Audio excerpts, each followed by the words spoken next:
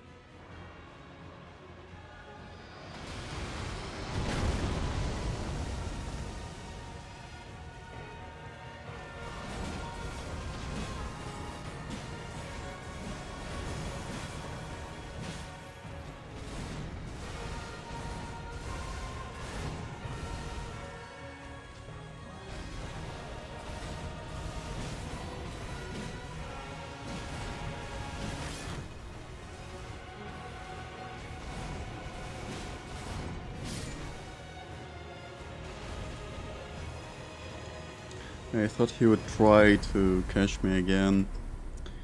Okay. Till next time.